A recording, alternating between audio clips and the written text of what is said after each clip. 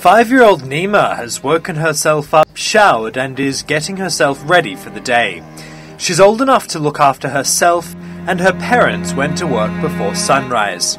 Alone and uncomplaining, she will get on with a full day of chores. But the family laundry is not her biggest responsibility. She has been left to look after her baby sister until the adults and the older kids return from working in the fields.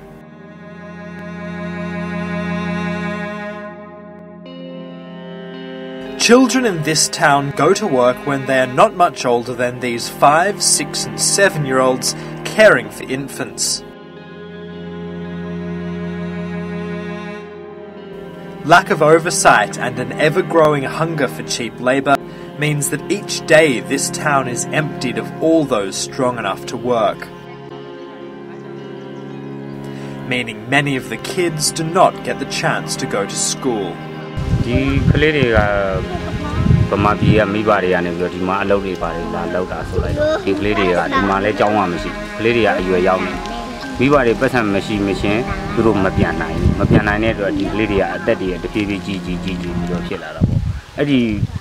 မိဘတွေကလည်းသူတို့ကိုယ်တိုင်ကစပြီးတော့ဒီနေရာမှာစာပေမတက်ကြဘူးသူတို့တွေကလည်းမိဘတွေကိုယ်တိုင်လည်းစာပေမတက်ဘူးအဲ့ဒါကြောင့်ဒီနေရာမှာကျောင်းလေးတစ်ကျောင်းလိုပုံစံမျိုးလည်းဖြစ်ရှင် Phop Phra in Thailand's Tak province is one of the most inaccessible areas of the country's border with Myanmar. It is one of the country's major agricultural districts where much of the produce is farmed by migrants from across the border.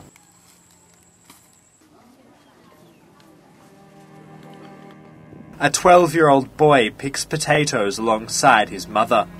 as younger children make games out of filling the sacks.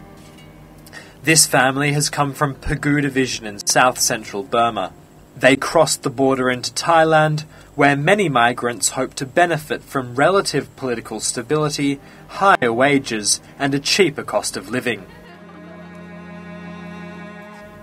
But the boy says he hasn't been to school since he left Burma. ပြည်မှာပြီးတော့စင်ပြေတော့မထားနိုင်ဒီမှာလောက်လာတော့ဒီမှာကျောင်းထားဘူးသားမရမထားတော့ဘူးအလုပ်လုပ်တဲ့လုပ်တော့ဗမာရုံးနဲ့ထားတယ်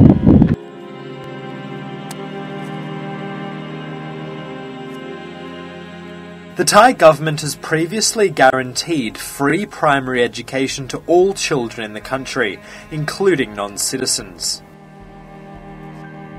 But that option isn't open to the children of migrants without documents, many also too poor to cover costs related to sending a child to school.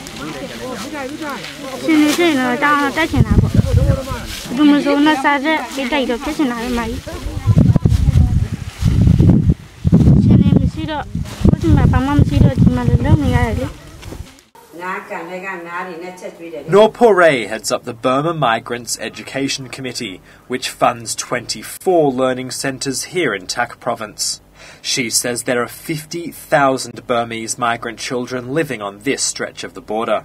But in the 2014-2015 school year, only 13,000 enrolled in classes.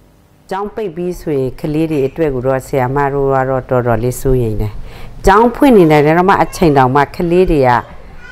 ဒီ9000ထဲမှာ1000နဲ့3000ပဲ။ကြံတဲ့3000ကဘယ်ကိုပျောက်နေလဲ။ဟိုရောင်းစားခံနေရတာလားမဟုတ်ရင်လဲဒီကွင်းထဲမှာအလုတ်လုတ်နေတာလား။နော်သူတို့အရွယ်လေးတွေကကျောင်းနေရတဲ့အရွယ်ပဲ။ Part of Burma's transition towards democracy has been an effort to bring the Burmese diaspora home. In the northern Thai city of Chiang Mai, the director of Myanmar's Labour Department is on a fact finding mission. He says that while his office is committed to protecting the rights of Burmese working migrant children, officials are treading a fine line between help and hindrance.